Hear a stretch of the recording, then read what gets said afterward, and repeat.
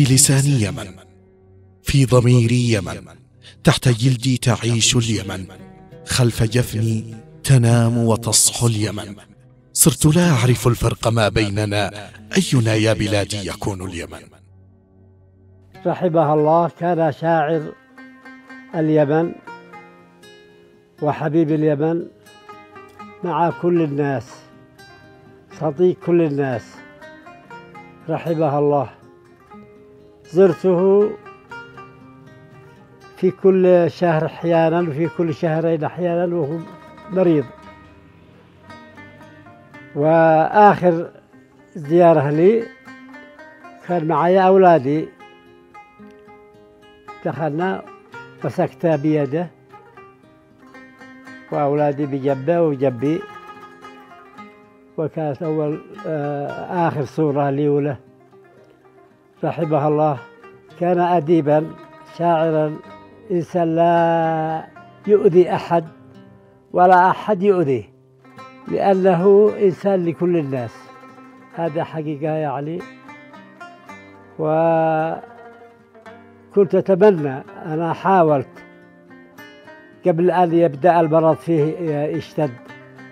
حاولت أنه أكون مع مرافق إما إلى القاهرة أو إلى أي أوروبا أو إلى أي مكان مستعدا يا لكن رفض رفضا باتا ما يقعد هناك ويجي المرض وأهلا وسهلا بما يأمر الله به. رحمه الله. رحل الدكتور عبد العزيز المقالح ولم ترحل ذكراه من قلوب محبيه. رحل بقلبه الطيب ووجهه البشوش وبقامته الجميله التي أحناها التعب. رحل بعد أن ترك لنا سيرة خالدة في تعامله الإنساني الذي تتمثل فيه بساطة الشاعر وتواضع المثقف. في داخل هذا المركز كانت بداية علاقتي الحميمية به حين قرر أن يوافق على طلب نقلي إلى مركز الدراسات والبحوث بعد أن واجهت مضايقات شديدة في حين كنت يعني في إدارة تحرير هيئة مجلة الثقافة في وزارة الثقافة. فقال لي صيغ الرسالة كما تريد. للأخ الوزير وأنا سأوقع على ما تريد وأتصل بالوزير ولم تطول عملية نقلي أكثر من أربع أيام أو خمس أيام وانتقلت إلى مركز الدراسات والبحوث. هذا السلوك للدكتور عبد العزيز المقالح وهو يعرف أنني كنت من رموز المعارضة السياسية ومن رموز آه، يعني الذين يعيشون على تماس تناقضي مع نظام الحكم حينها حين انتقلت إلى المركز وصل تناهى إلى علمي من البعض أنك ستجد نفسك وخطابك الثقافي والسياسي يتراجع لأنك ستضبطه على إيقاع إرادة المقالح. والحقيقة أنني تخوفت في البداية ولكنني بطبيعة المعاندة استمريت في الكتابة بنفس الوتيرة السابقة وأعلى من الوتيرة السابقة. وطيلة هذه الرحلة الطويلة ومن كتابات مختلفة والشديدة النقد على الأقل على المستوى السياسي لم أجد منه سوى الترحيب والإشادة بمعظم ما أكتب. في هذا المركز كان يأتي الدكتور عبد العزيز في الساعة الثامنة والنصف أو في التاسعة بعد أن يكون قد مارس طقوسه الكتابية من الخامسة فجرا أو الخامسة والنصف فجرا بعد الصلاة. يمارس طقوسه الكتابية في منزله من بعيد ال- الفجر مباشرة ثم يأتي إلى المركز هنا بدوام اعتيادي يومي لا يتخلف عليه عنه يوما خاصة بعد أن آه، صار خارج جامعة صنعاء. وبقى وبقي رئيسا لمركز الدراسات والبحوث. كنا كل يوم نلتقي هنا.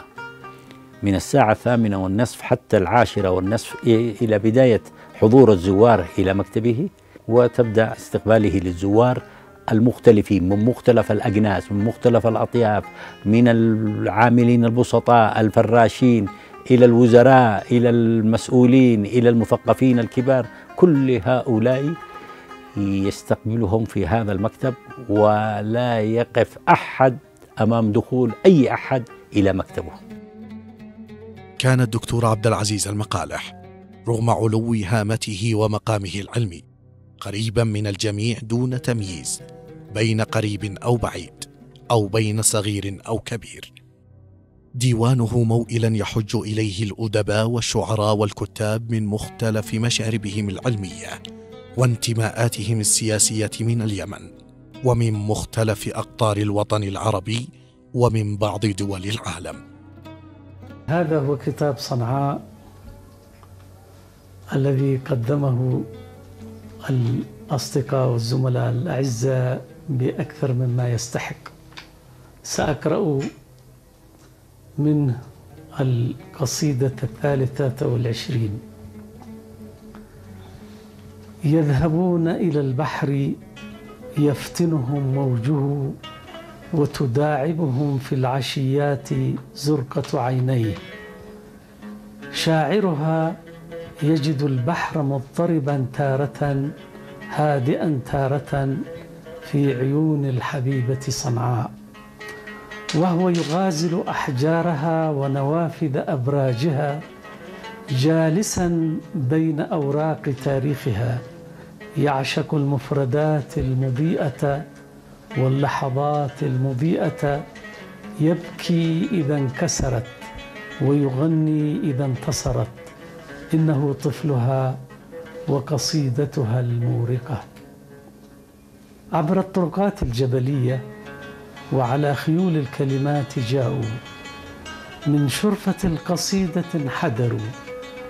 وحفرت أشجانهم على مداخل المدينة نيران شوق لا تنطفئ عانقوا الشوارع المضيئة بالتاريخ ومثل حليب الأمهات الدافئ شرب الناس قصائدهم فأضاءت القلوب بالألم اللذيذ وامتلأت الطرقات بالأمواج وحين يستيقظ. وحين تستيقظ وردة الصباح في مطلع كل يوم تحمل الطرقات الجبلية عشاقا آخرين على خيول كلمات جديدة.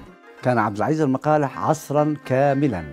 عشناه ورأيناه ورأينا كل تفاصيل أيامه وساعاته التي لم يكن يترك دقيقة واحدة دون أن يكون مشغولا بكتابة أو بلقاء أو بمؤتمر أو بندوة. من الجامعة إلى مركز الدراسات إلى الندوات التي كان يقيمها إلى المؤتمرات الكثيرة. عبد العزيز المقالح ضمير اليمن الثقافي الذي هو خلق يمنا موازيا أمام العالم العربي وأمام اليمنيين وأمام العالم. رأينا الشعراء الألمان ورأينا الشعراء الفرنسيين ورأينا المبدعين الإيطاليين. رأينا المبدعين العرب من كل دولة عربية. فهو كان عصر كان عصرا بكل ما تحمله الكلمة من معنى. كان يمنا موازيا. خدم بلاده كما لم يخدم أحد. عبد العزيز المقالح الإنسان في منتهى البساطة وفي منتهى التواضع.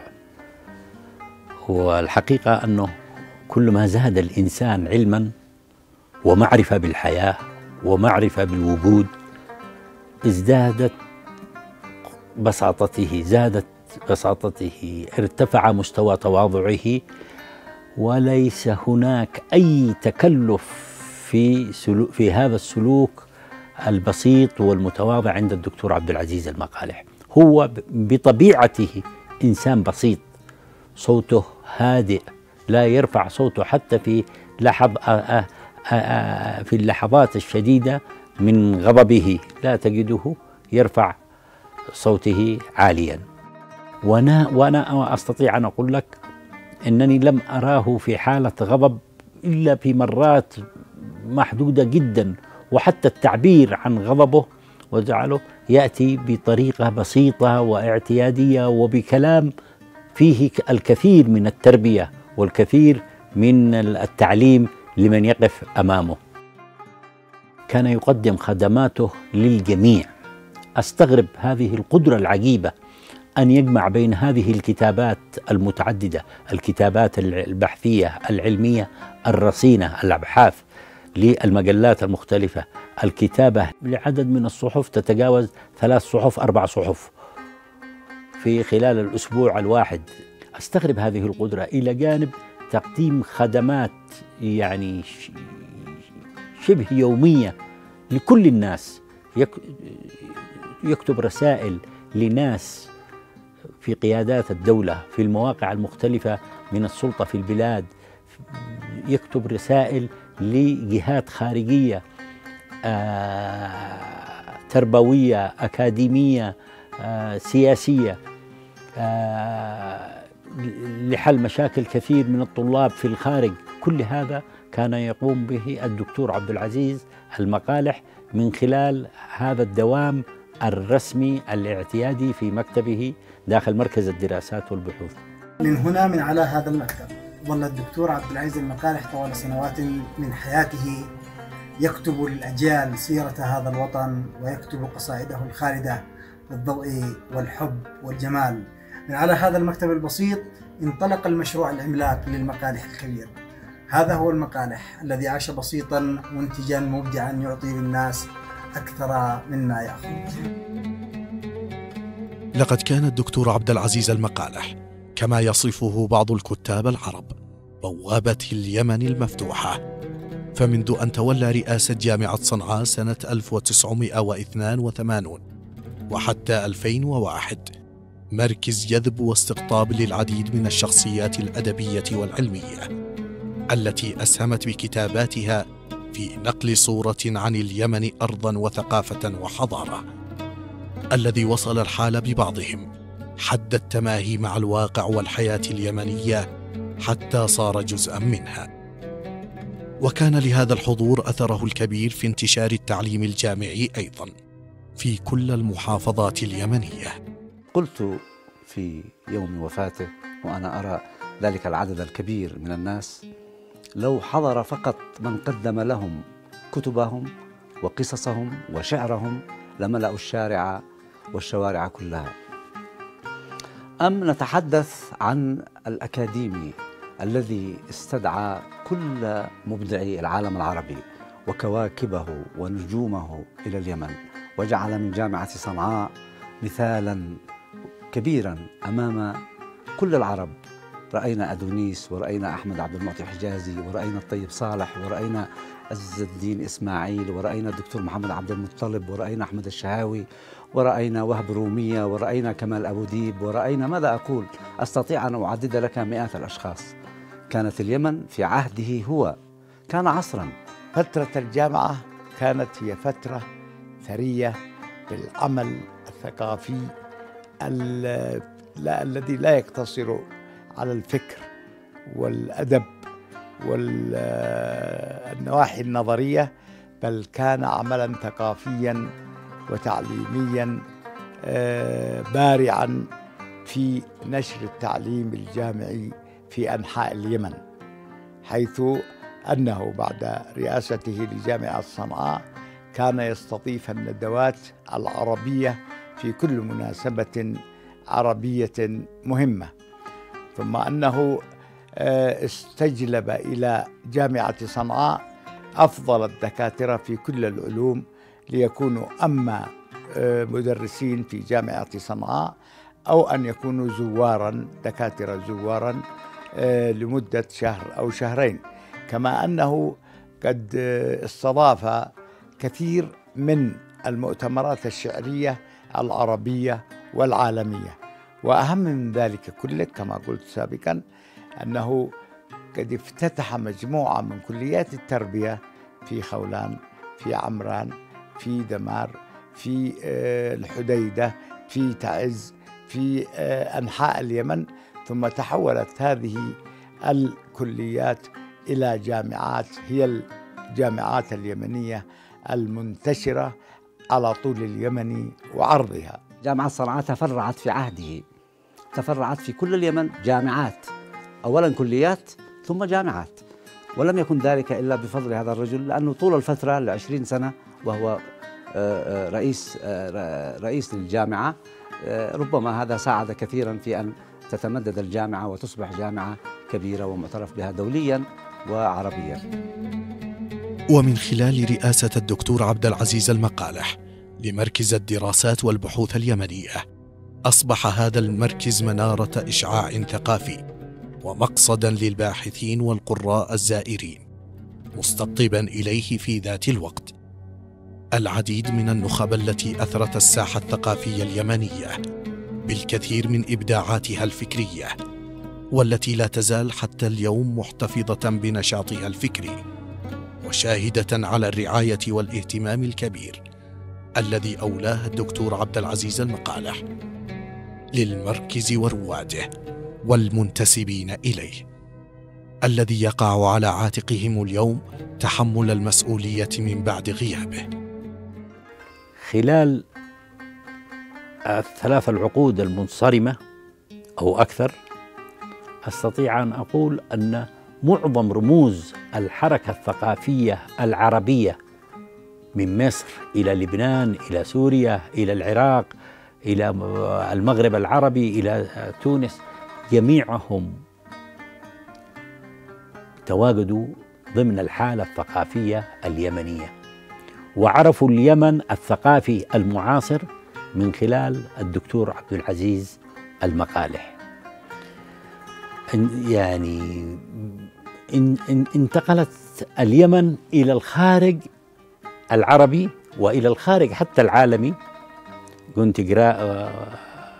جونتجراس وعشرات الأسماء الفرنسية التي آه، استقدمت إلى اليمن أو حضرت إلى اليمن في المناسبات والفعاليات المختلفة الشعرية والثقافية والروائية وغيرها. حضرت إلى اليمن وعرفت اليمن من خلال وعرفت اليمن أكثر كقيمة ثقافية ومعنى ثقافي من خلال حضور الدكتور عبد العزيز المقالح في المشهد الثقافي اليمني والعربي.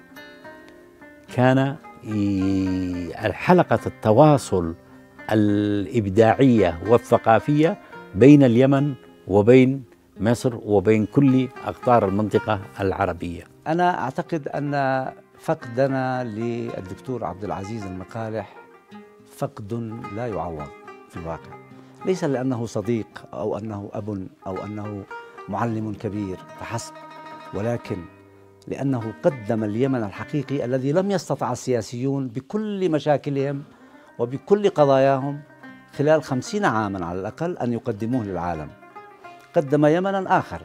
شوف رأينا سليمان العيسى وهو هنا في اليمن وظل خمسة عشر عاما. وكتب أكثر من خمسة عشر ديوانا عن اليمن وفيه كما لم يفعل أحد في تاريخ الشعر العربي كله. أه ولولا عبد العزيز المقالح لما كان هنا سليمان العيسى ولما رأينا كل مبدعي العالم العربي. هذا دور لا ينسى. ولا وليس له ثان في تاريخ اليمن المعاصر على الأقل. بالنسبة للتشجيع على الأدباء يعني كان كان مشجع أدباء وكان مشرف على جائزة الرئيس وكان يعطيها لأدباء ومثقفين يعني, يعني وقصاصين محترمين. ويشهدوا له يعني كثير. يعني أنا يعني واحد من الذي يعني استقبلنا في المركز ووظفنا وتعب رغم إنه كان في معارضة إنه أنا ترقى هنا ولكن وقف هو إلى جانبي وكان موقف إنساني جدير بالاحترام والتقدير. أقول إنني أخذت الماجستير والدكتوراه وما بعد الدكتوراه كان يعني بتشجيع الدكتور وإصراره علي وفعلا كنت حبا في الدكتور واحتراما لكلامه. أعود مرة أخرى لأكمل رسالتي الجامعية. حتى وصلت إلى نائبة له وهو من شجعني ومن أختارني ومن رشحني لأكون نائبة له. هذا الرجل كان شجرة مثمرة وفروعه ممتدة إلى جميع المحققين لجميع الباحثين لجميع الكتاب لجميع الأدباء. أقول حاجة أخرى. مثلا شوف الدكتور مقالح مرة حصل جائزة جائزة. وكل من آه، يوفق في مثل هذه الجائزة كان يأخذ يفرح فيها ويوديها لبيته ويبني لنفسه ويعمل كذا. الدكتور مقالح أنا والله استغربت يومها عندما خصص 50% من الجائزة لتشجيع الأدباء لتشجيع الباحثين. آه وكان ينوي آه تطوير هذه الجائزة وجعلها مستمرة إلى إلى ما لا نهاية.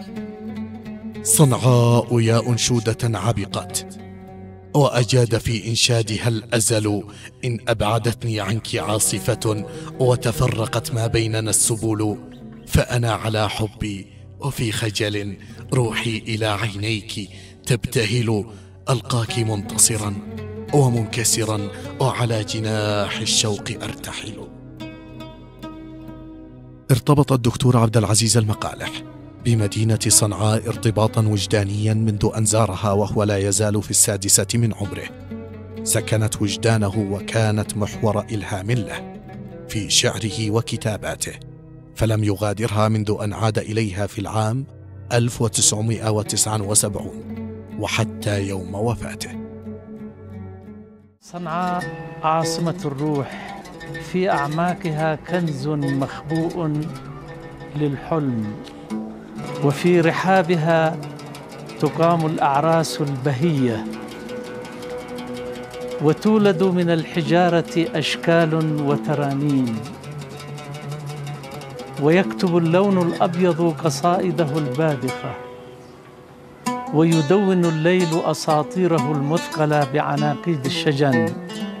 ومجامر الأطياب.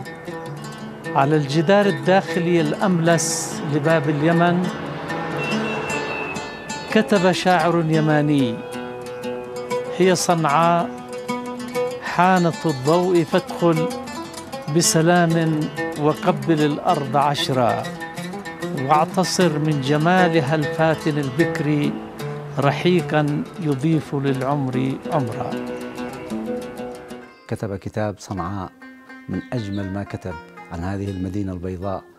بيضاء بأهلها وبيضاء بطبائعها وبيضاء بكل ما فيها بشرفاتها بالقصة الجميل الذي فيها بورد ياجورها بكل ما فيها. الدكتور عبد العزيز المقالح يعرف صنعاء القديمة أكثر مما يعرفها أبناؤها وأنا رأيت ذلك بعيني. وقد طفت معه صنعاء على الأقدام وقد يعني شاهدت معه وسمى لي معظم البيوت التي رأيناها في كل الأحياء يوما كاملا. يقول الدكتور عبد العزيز المقالح في أحد مقالاته. أنت تكتب لتكون على صلة بالناس ويكون الناس على صلة بك عبر خيط الكتابة الدقيق. فكانت الكتابة بأشكالها المتنوعة. جسرا يصله بالناس ويصل الناس به. عبر مختلف الوسائل الإعلامية فكان له كتابات في الصحف اليمنية من أهمها صحيفة الثورة التي كان يكتب في يومياتها كل يوم ثلاثاء وصفحة أسبوعية في صحيفة 26 سبتمبر بعنوان قراءة في الأدب والفن.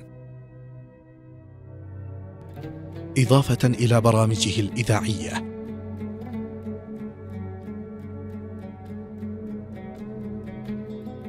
علاقة الدكتور بالإذاعة ظلت قوية وقائمة. حتى آه، يمكن عام 2000 وبعد عام 2000 وكان يطل على الناس سنويا من إذاعة صنعاء عبر برنامج خواطر رمضانية دكتور عبد العزيز المقالة. وكان الناس ينتظرون هذا البرنامج بشغف كبير لأنه آه، عارف كيف يصل إلى الجمهور و بأقل القليل من الحديث المختصر. فطبعا ولهذا ظلت علاقته جيدة بالإذاعة وكان آه، يعني لا يمر عام دون أن يكتب عن الإذاعة. وأذكر أنه شرفني بكثير من كتاباته وبالذات حين حصلنا على إذاعة صنعاء على الجائزة الأولى في مسابقة الأغنية الإذاعية العربية. وكان يتردد على الإذاعة دائما وكأنه يتذكر ماضيها القديم وبداياته الأولى. وبرامجه التلفزيونية التي كان يقدمها عبر قناة الإيمان بعنوان أعلام الفكر الإسلامي. كثير هم علماء اليمن في صدر الإسلام وفي القرنين الأول والثاني. ومن علماء هذا البلد الحبيب في القرن الثاني الهجري عبد الرزاق الحميري الصنعاني أشهر علماء الحديث. وأوسعهم صيتا ومعرفة بأحاديث الرسول عليه الصلاة والسلام. وأكثرهم تأليفا في هذا الموضوع الذي شغل عقول المسلمين وأخذ من مشاعرهم قرونا طويلة وما يزال. وبرنامج هموم عربية على قناة السعيدة. المشاهدون الكرام السلام عليكم ورحمة الله. أحدثكم اليوم عن الصمت. أو بالأصح عن فضيلة الصمت في زمن الضجيج غير المسبوق في حياة البشر منذ بداية نشأتهم الأولى على الأرض. الاسم الكامل للكتاب هو الصمت كرياضة روحية. تأليف الكاتب الهندي سوامي برامند وترجمة الدكتور عبد الوهاب المقالح الأستاذ في كلية اللغات بجامعة صنعاء. والكتاب بفصوله الستة قصيدة مديح طويلة في فضيلة الصمت وجمالياته وما يوفره على البشر من سعادة روحية ونفسية لا سيما في زمن الثرثرة المفتوحة على اللاشيء والخطابات الإعلامية التي ملأت جوانب الأرض وفضاءات السماء ولم تترك شبرا في الهواء خاليا من أصوات لا قيمة لها ولا معنى. وكما أن الإنسان بحاجة إلى أن يتكلم ويفضفض عن مكنونات نفسه فهو بحاجة كذلك إلى الصمت ليفهم وليستعيد معه توازنه ويطيل التأمل وقراءة ما حوله من أشياء وأحداث ومتغيرات. لم تكن أبدا في الحسبان. نحن إذا بحاجة إلى الصمت حاجتنا إلى الكلام. ومن الخطأ في حق أنفسنا وفي حق البشر من حولنا أن نطيل الكلام أو نطيل الصمت وخير الأمور أوسطها. كما لم يغفل عن دور الأغنية الوطنية والعاطفية في خلق هذا التواصل الإنساني النبيل. الدكتور عبد العزيز المقالح حاول أن يغوص في أعماق هذا الشعب ولأنه حلق في سماء الحداثة والشعر الحديث فأيضا لم يترك العوام من أن يصل إليهم. ورأى أن الأغنية هي أقرب وسيلة للوصول إلى عامة الناس. فكتب حوالي 16 قصيدة وأنا ممن أشرف عليها وراجعها عندما أعددنا موسوعة شعر الغناء اليمني في القرن العشرين. أنا أشرفت على هذا العمل ووثقنا 16 عمل للدكتور عبد العزيز المقالح. ولهذا لاحظوا أنه كان يحاول أن يخاطب عامة الناس والبسطاء من الناس فكان يختار القوافي آه مثلا الشائعة عند الناس مثل مربوش مدهوش كذا التي تحدث نوع من الاستغراب عند الناس. يا غصن صنعاء. وأيضا آه حاول أن يحيي أغنية آه يا غصن صنعاء تعجب خدك المنقوش وعمل هذه القصيدة التي غناها أحمد فتحي. ومنها حولها لفتش مغطى ولا غطي على مفتوش حولها بشكل جميل وقال حزني مغطى وقلبي للهوى مفتوش. ولهذا حين غناها أبو بكر واستخدم المفردات السابقة لم يعجب الدكتور.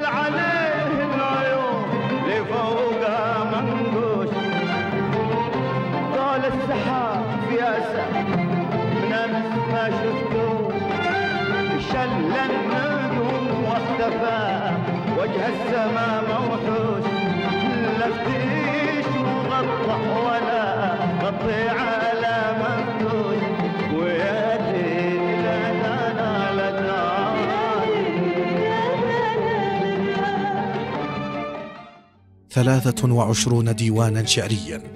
هي حصيلة إنتاجه الشعري. بدءا بديوانه الأول. لا بد من صنعاء. الصادر سنة 1971 وانتهاء بديوانه يوتيوبيا وقصائد للشمس والقمر. الصادر عام 2020 وله أكثر من 32 كتابا فكريا ونقديا. بدءا من كتاب شعر العامية في اليمن. الصادر سنة 1972 وانتهاء بكتاب تأملات خضراء الصادر عام 2016 إضافة إلى كتاباته في العديد من الدوريات والصحف والمجلات المحلية والعربية التي يصعب حصرها. الدكتور عبد العزيز مقالح متنوع متنوع في في في مجالات الإبداع فقد كتب في النقد وكتب في السرد. نقدا وكتب في الشعر وكتب في الفكر. فمن الصعب جدا أن تحيط بهذه الشخصية المتنوعة المتعدده الإبداع. ورحيله يمثل خسارة كبيرة جدا ليس على صعيد اليمن ولكن على مستوى وصعيد الوطن العربي برمته. فقد كان ضميرنا الثقافي والإبداعي وكان جسرنا للاطلاع على إبداعات اليمن. فهو أول من تنبه للإبداع في جنوب اليمن سابقا قبل الوحدة من خلال كتابه البدايات الجنوبية. أول من عرف بالأدباء في الشطر الجنوبي من الوطن قبل الوحدة.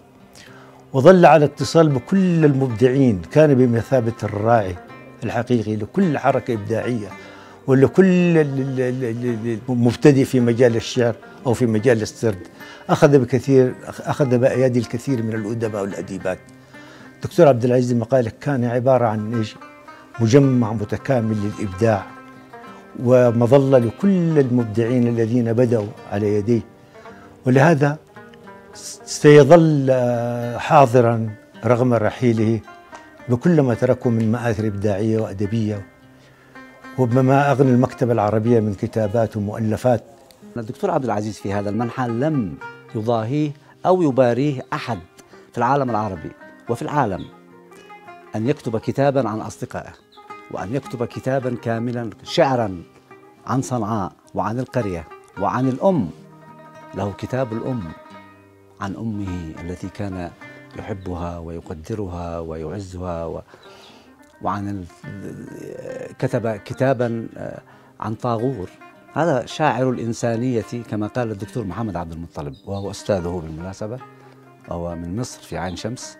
شاعر الإنسانية والعروبة واليمن وشاعر مصر. شاعر مصر. المصريون يعتقدون أن الدكتور عبد العزيز المقارع هذا أحد أبناء مصر. كما قلت لك باختصار هذا رجل خلق يمنا موازيا في أذهان العرب وفي أذهان العالم وخلق يمنا موازيا عند اليمنيين أيضا. إذ أنه أراهم ما معنى حقيقة وماهية اليمن الحقيقية وليس الظاهرة وليس يعني اليمن المتعارف عليها دوليا المختلف عليها سياسيا المعتجنة بالحرب وظروف الصراع. لا هناك يمن آخر وهو يمن الحضارة ويمن القرى والمدرجات والسدود يمن الإنسان وعاداته وتقاليده التنوع الهائل الجميل المتناغم المؤتلف المختلف. الذي جعل من اليمن آه، آه، عنصرا فعالا في هذا الركن من الجزيرة العربية وأثر على كل تاريخ العرب. شباب لا أتهمه أنه لا يقرأ ولكن أتهم أنه آه، مشتت. يريد أن يقرأ في كل شيء وهذا جميل أن يقرأ في كل شيء لكن عليه أن يركز وأن تكون القراءة برنامج طقسا يوميا طقسا يوميا. أنا أقرأ في اليوم ثلاث ساعات.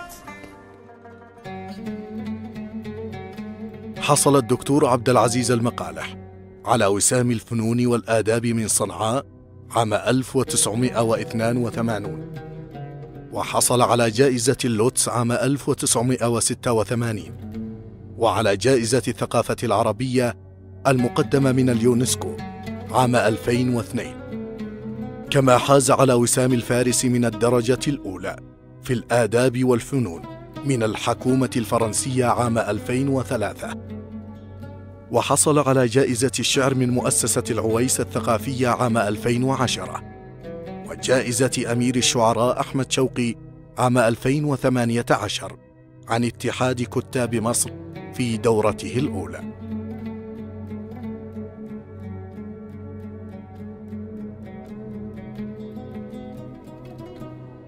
وقبل وفاته بأشهر قليلة احتفت مكتبة قطر الوطنية به في الذكرى الواحد والخمسين بصدور أول ديوان شعري له.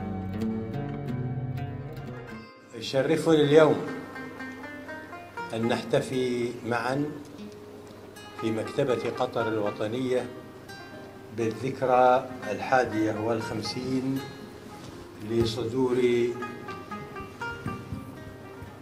أول دواوين الدكتور عبد العزيز المقالح. أمده الله بالصحة والعافية. وفيها نستدعي سيرته الأدبية ومواقفه الجمالية ورؤيته للعالم. وكم تمنيت صادقا أن يكون بيننا إلا أنه رغم غيابه. عن مكاننا فهو حاضر معنا وفينا.